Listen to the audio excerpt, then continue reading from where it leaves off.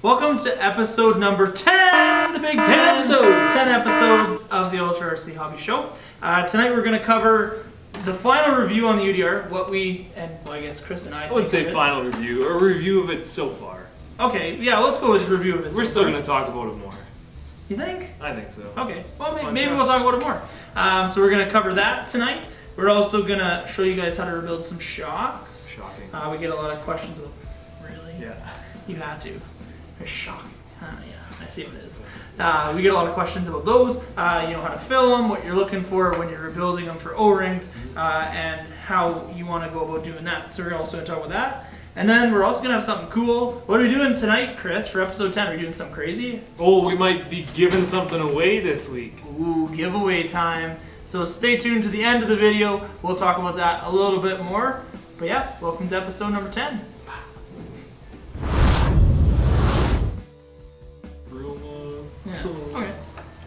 Yeah, I don't know. It's a really good truck. So the Traxxas UDR, um, it drives really nice. It handles well. The shocks are set up nice. It's been really smooth. We've been able to huck it around really well. I don't think we've broken much. No, just a servo. Yeah. That's uh, honestly my biggest complaint. Just the servo right now has been kind of the downer, but it is a 2075. It's nothing too crazy. So now that we put that uh, beefy 7955, we've probably driven what 12, 14 Yeah, packs through it, there. and it's been an awesome truck. We've got it dirty, we've got it full of snow, we've got it muddy, we've got it pretty much everything. And there, there's only been a couple of complaints I've had on it. Um, so the servo definitely being one. Uh, we also took out a bearing in the rear planetary section.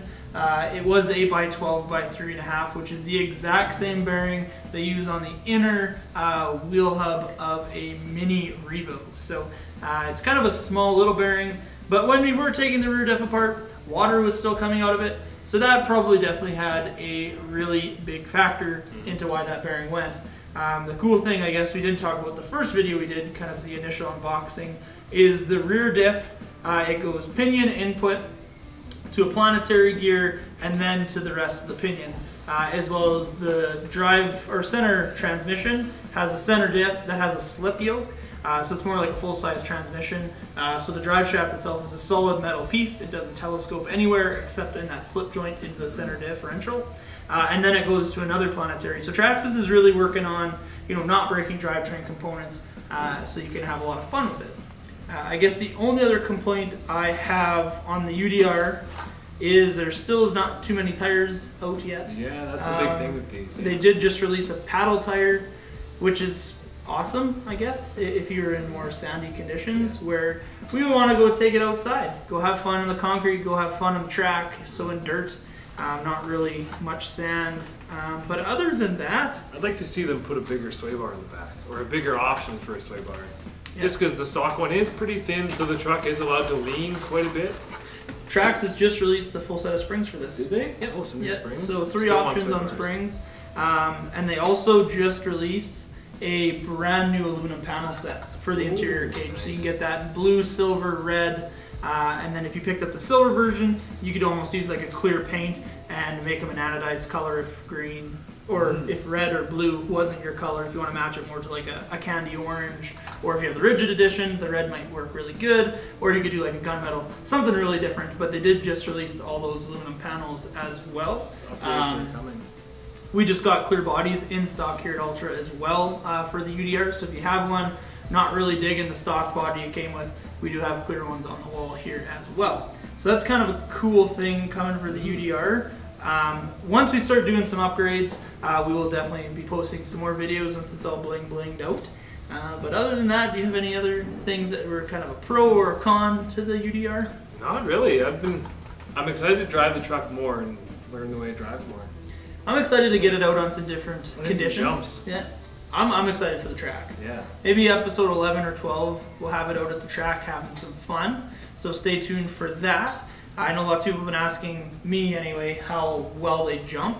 And so far, it's a lot more balanced than a Yeti. Doesn't want to nosedive as much as the Yeti. Uh, it definitely has the weight uh, a lot more center and neutralized in the car. Um, so with the extra two tires in the back too, there is a lot of weight hanging back oh, there. yeah. Um, but other than that, that is kind of like our mid to early final review, I guess, of the UDR. Yeah.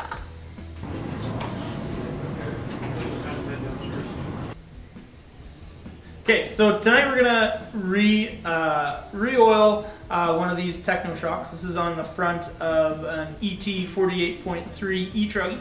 Um, so let's jump right into it. So kind of the tools you will need are tools we've actually previously talked about. Um, so the 17 millimeter Tekno wrench. And this is kind of proprietary to Tekno uh, for this tool anyway. Uh, but this guy, this we talked about on episode number one. So if you missed it on episode number one, go look at it. It's an awesome tool. Uh, but this is the Tekno Ball Link Shock Shaft Plier. Uh, and the cool thing with the Tekno trucks is they actually have the bottom of the shock is 17 millimeters. Uh, and the cool thing is you can use their 17 millimeter um, wheel wrench. Sorry, I couldn't even couldn't even English there.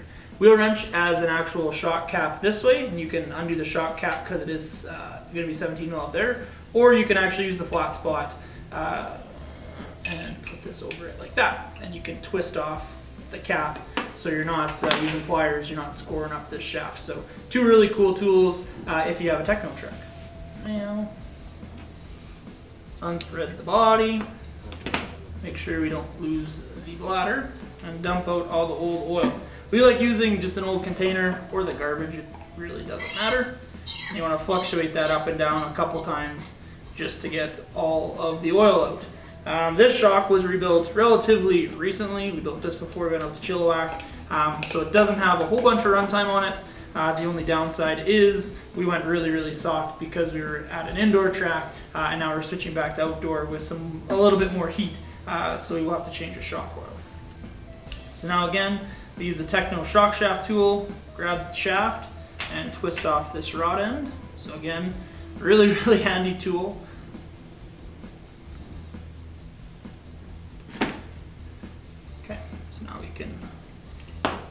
Boot off and push the piston through. So for these guys, I always like to uh, redo the bottom O-rings and the cartridge set just to make sure that everything's lubed up. Uh, we didn't suck a rock or, or, something really minor and rip one of those O-rings. Uh, I always like to make sure the shafts aren't scored as well. So to get the cartridge out, again, Tekno tool, uh, it's a 12 millimeter bottom cartridge set, uh, and you can just twist that right off.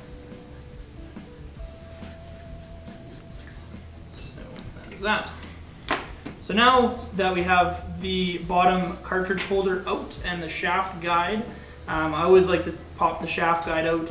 There will be a little black uh, insert in there um, that the shock shaft will ride in. And the biggest thing with those is you want to just make sure and visually inspect that it isn't ovaled out. Um, otherwise the shock shaft will be able to go like this uh, as it's traveling up and down through the shock body. And then it's going to leak. That is correct. It will leak like a sieve. So the next thing we got to do after we have this bottom cap off is just pop the O-rings out. I usually just like using a 2 mil driver and pop the O-ring. There will be a spacer in the Tekno shock as well between the two O-rings.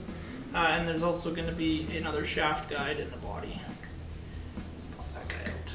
So again, the same thing goes for these three plastic bits as well, is you just want to make sure they're not ovaled out. Uh, these ones we did just put in here. Uh, Tekno does also offer a uh, Delrin set, so a little bit less stiction with the Delrin, uh, and usually it lasts a little bit longer as well. Uh, most companies are kind of switching their uh, plastics to Delrin now instead of just hard plastic as it lasts a little bit longer. So what I also like to use is the Losi shock oil or shock O-ring grease.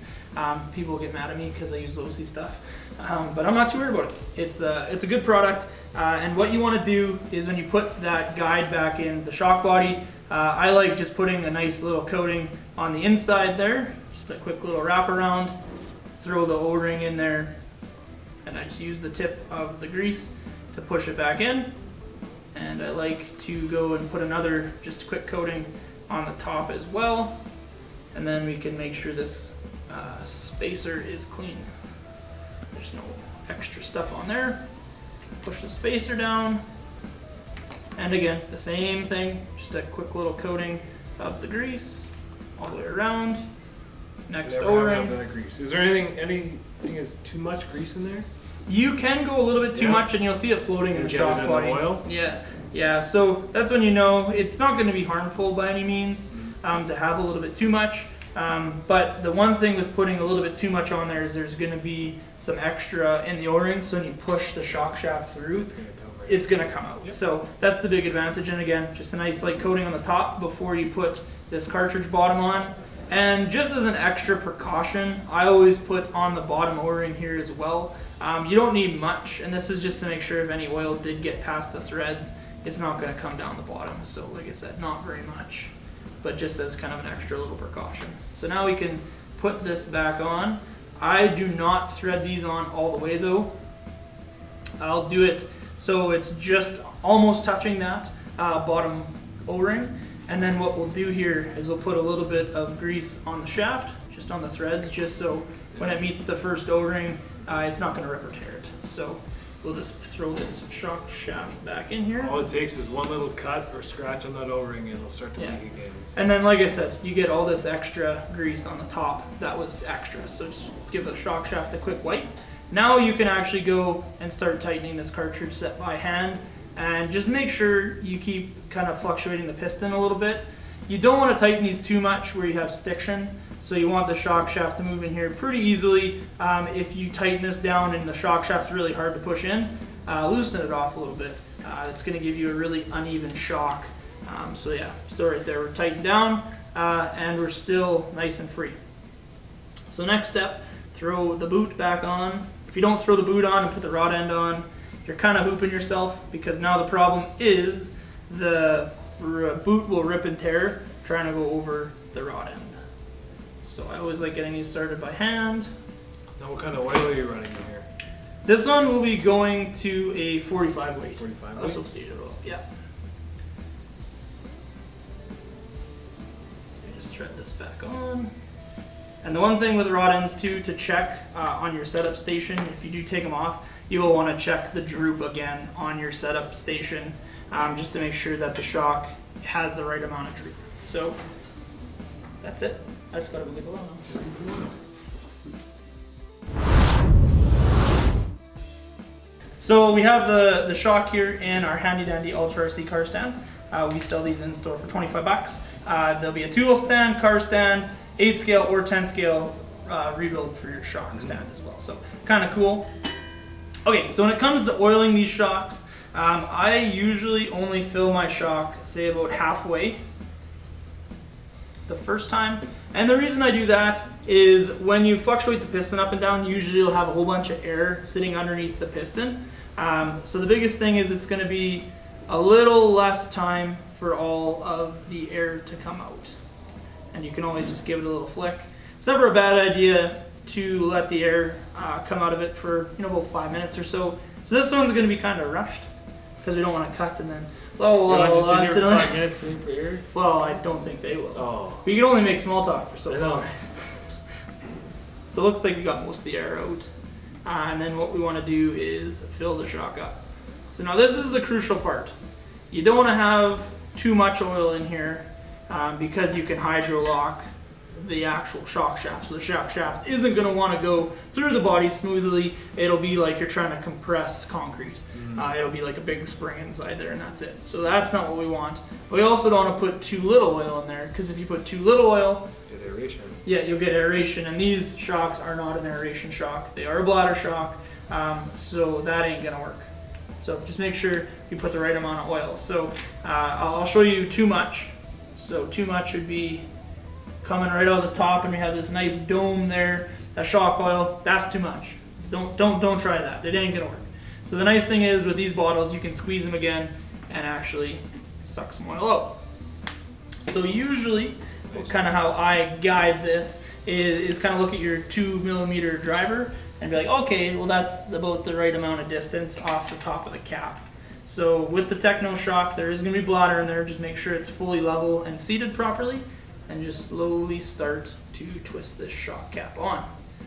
So the big thing also with these is you can change the amount of rebound you get um, by having the shock shaft fully extended or in. Uh, this one we're going to do with some rebound So, a little bit of oil came out the bleeder hole, which is what we want to see. And again, use your Tekno tool, 17 mil on the bottom. Give it a quick little lockdown. And know this is the moment of truth. Does it go up and down smoothly?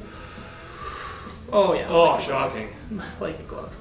So there you go. There's kind of our tech tips on doing shocks. Uh, we might do a Traxxas video one too.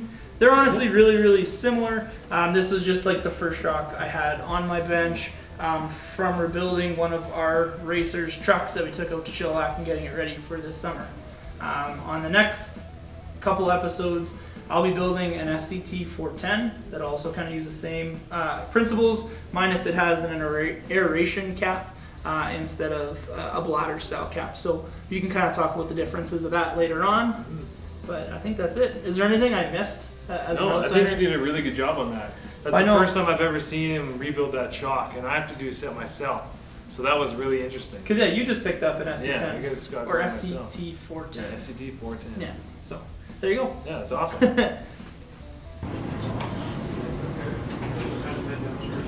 I agree.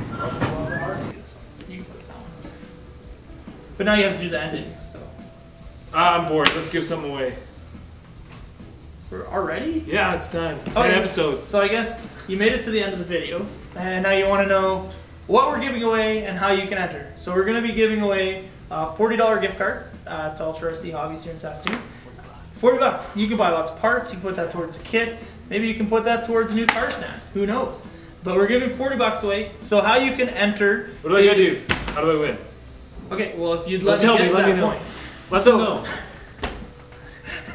So what, Come on. what you need to do is you need to like the video and you also need to comment. And what we're going to be looking for in the comments is what's your favorite episode and what you enjoy about the show. So you have to comment that. You can't just say, "Hey, I want to win 40 bucks." That's just not going It's to not work. gonna help. No. No, it's not going to work this time. So you got to like I said, like the episode. You have to comment on what your favorite episode was and what you enjoy like segment wise in the show. Okay, you got that? Yeah. Was it clear enough? Yeah. When, when's the draw? The draw is going to be. Now you put me on the spot. What's a good date? Two weeks from two Yeah, weeks we from Friday. Two weeks from Friday. Okay. Which so would be today. Friday this episode airs is going to be the fourth. Yeah. So if we do the draw on the 18th, Yeah. on episode number 10, 11, on episode 12. Episode 12 will be giving away that $40 gift card.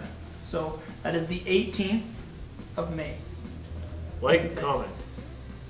Yeah, like like the video Yeah, like the video. and comment on it. What's your favorite part in the episodes and what's your favorite episode? Just make sure. But yeah, And make sure you like, comment, and subscribe on Ultra RC Hobbies Facebook and YouTube. I think you can only subscribe on YouTube. Yeah, but I mean, you can like share with all your friends. You can share it on, on Facebook. There we go. But that's episode 10.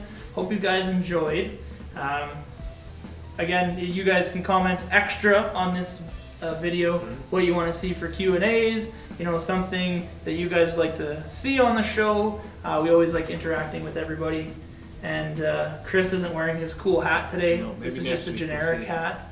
Maybe we maybe we have to have a show on people commenting what hat we should have Chris wear. What hat do I episode. wear next episode? But yeah, that's episode 10. Thank you guys so much for the support. Can't believe we made it to 10 episodes Yeah. already. It's been a blast. yeah, so it's been fun. thank you again.